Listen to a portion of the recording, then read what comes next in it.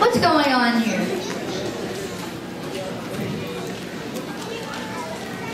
Find the true meaning of Chris- Christmas when money, money, money, spectacular, super colossal, neighborhood Christmas lights and display contest. Even his very own Gun commercial, the thought of the contest made Charlie Brown feel positively sick.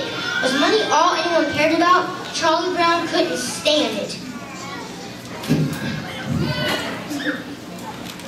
There you are, big brother. I've been looking for you all day. Will you please write a letter to Santa Claus for me? You write it, and I'll tell you what I wanted to say. Charlie Okay. Brown Shoot.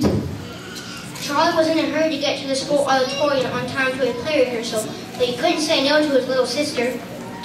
Dear Santa Claus, how have you been? Did you have a good summer? How is your wife? Extra good this year, so I have a long list of presents that I want. Oh, brother. Please note the size and color of each item and send as many as possible. If it seems too complicated, just send money.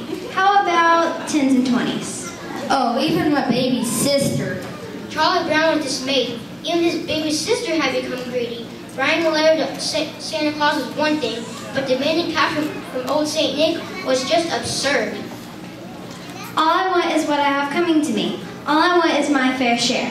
After the special broadcast of a Charlie Brown Christmas, next on Forward Television Network is How the Grinch Stole Christmas.